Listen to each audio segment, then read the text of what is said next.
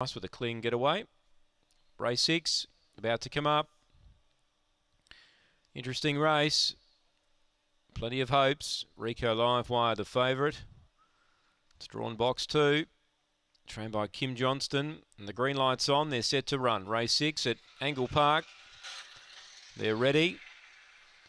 Set to go. Racing, Rico Livewire jumped pretty well. Great speed out deep. Stormy Missiles crushing down but couldn't get over. Copped a check. Rico Livewire booted up to hold Aston Ability who comes at it now. Special Deed in third. Rocket Fabio next. Stormy Missile. Then Zinfandel Umpa and Glorious One. Aston Ability took over and darts away. Aston Ability pulled clear from Rico Livewire. Third Rocket Fabio. Special Deed fourth. Next in was Zinfandel Umpa.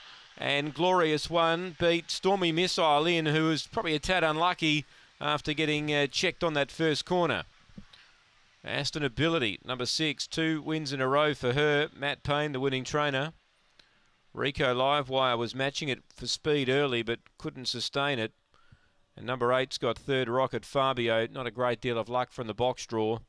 10 got fourth. Placings here is 6, 2, 8, 10, take note. 6, 2, 8 and 10. And the margins one and three quarters, the official margin, 7.17 the early split. And the time is 22 and 42, 22 42 for Aston Ability. That's a new PB for her. 6 2 8 10, race 6, Angle Park.